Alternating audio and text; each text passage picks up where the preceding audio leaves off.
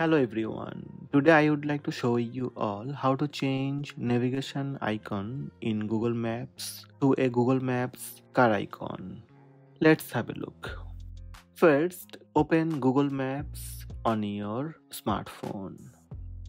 Now you need to search for the destination by entering location in the search bar.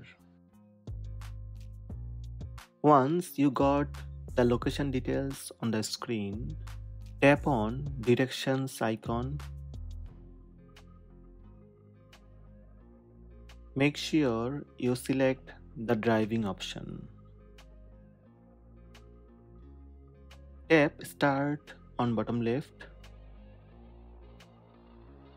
It should be noted that if you don't complete these steps, then you would not be able to change the navigation icon.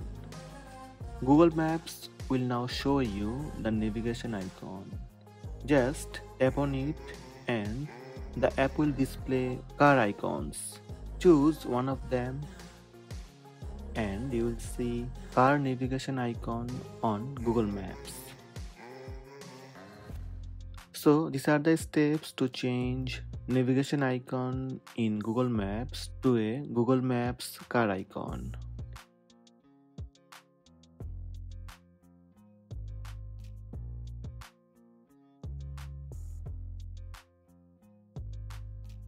Hope this video help you. Please subscribe my channel by tap subscribe button. Also tap the bell icon to receive notifications about all new videos.